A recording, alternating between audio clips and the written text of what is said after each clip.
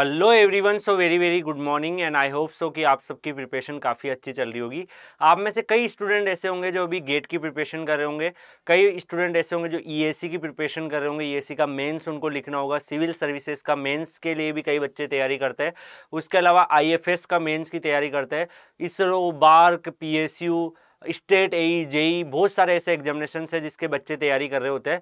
And uh, कई बच्चे अभी सेमेस्टर एग्ज़ाम भी लिखने वाले होंगे तो उन सारे बच्चों को लाइक प्रॉपर तरीके से गाइडेंस अवेलेबल नहीं होता है कि कौन सी बुक उन्हें रिकमेंडेड करनी चाहिए during their preparation so guys आप लोगों के लिए मैं एक सीरीज़ चला रहा हूँ जो इस चैनल पर अगर आप प्ले देखेंगे best book for mechanical engineering तो उसमें मैं सारे सब्जेक्ट के मैंने एनालिसिस कर रखे हैं। My name is Kuldeep Singh Rathore and I secure A R twenty nine in GATE two thousand twenty okay twenty twenty होगी सो so, यहाँ पे अगर आप देखेंगे गाइज़ आज की इस वीडियो में मैं आपको आईसी इंजन के बारे में बात करने वाला हूँ। आईसी इंजन जो है वो काफ़ी ज़्यादा इंपॉर्टेंट सब्जेक्ट्स है। एंड जैसा कि हम बोलते हैं इंजन जो है वो मैकेनिकल इंजीनियर का हार्ट होता है। मैकेनिकल इंजीनियरिंग का हार्ट होता है। तो डेफिनेटली गाइज़ यहाँ पे आपको आईसी इंजन को काफ़ी अच्छे से पढ़ने की नीड होती है। इंटरव्यू में मल्टीपल क्वेश्चन आते हैं। गेट में इसके टू थ्री मार्क्स आते हैं लेकिन मान लो बाकी सारे एग्जामिनेशन में अच्छा बैठे जाता है। तो मैंने जो अपनी प्रिपरेशन में जो बुक्स यूज़ करी थी या फिर मेरे सेमेस्टर एग्ज़ाम के टाइम पर मैंने जो बुक यूज़ करी थी।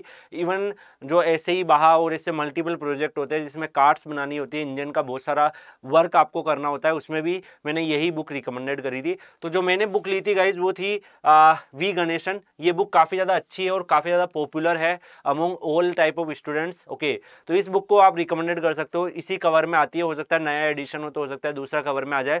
लेकिन हाँ ये बुक काफ़ी ज़्यादा अच्छी है। अगर इस बुक में हम देखेंगे तो आपको सोल्ड एग्ज़ाम्पल भी दिखेंगे थ्योरिटिकल दिखेंगे और विद बेसिक्स से मिलेंगे। थोड़ा ये स्टैंडर्ड बुकों को पढ़ने में हमेशा आपका टाइम लगता है, लेकिन कॉन्सेप्चुअल क्लियरिटी आपकी उसी से होती है। अगर आप नॉर्मली जैसे जो लोकल बुक्स है, उनको अगर आप पढ़ते हो तो उससे केवल आप एग्ज़ाम पास कर सकते हो बट आप लाइफ में कभी पास नहीं हो पाओगे।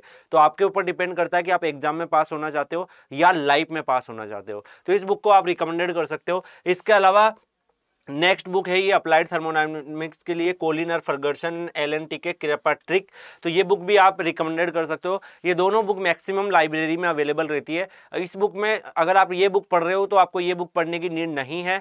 अगर इस बुक में ये है कि थोड़ा सा फॉरेन राइटर्स के द्वारा है तो थोड़ा आपको चीज़ें क्रिस्पी मैनर में मिलेगी, लेकिन इसमें आपको डिटेल एक्सप्लेनेशन के साथ मिलने वाली है। तो गाइज़ इस बुक, इन दोनों बुक को आप आईसी इंजन के लिए यूज़ कर सकते हो। These are the good book okay ऐसे ही मैंने हर एक सब्जेक्ट सब्जेक्ट के बुक सीरीज़ बना रखी है। इस चैनल पर एक प्लेलिस्ट है, best book for mechanical engineer. तो वो बुक वाली जो सीरीज़ है, आप देख सकते हो। हर एक इंडिविजुअल सब्जेक्ट के बारे में आपको ऐसे वीडियो मिलेंगे। इस वीडियो को शेयर कर सकते हो। आप रेगुलरली इस चैनल को सब्सक्राइब करके रखिए। यहाँ पे आपको ऐसे मल्टीपल इन्फॉर्मेशन मिलती रहती है। और भी आपको यहाँ पे टेक्निकल लेक्चर्स और बहुत सारी चीज़ें मिलती रहती है। तो डेफिनेटली आप इस चैनल को सब्सक्राइब करिए। और ऐसे ये जो आपके जूनियर्स अगर आपसे पूछते हैं कि कौन सी बुक पढ़नी चाहिए तो डायरेक्टली ये वीडियो की प्लेलिस्ट जो है, उनको शेयर करिए। They are able to gain a knowledge from it okay so thank you so much guys take care मिलते हैं नेक्स्ट वीडियो में तब तक के लिए गुड बाय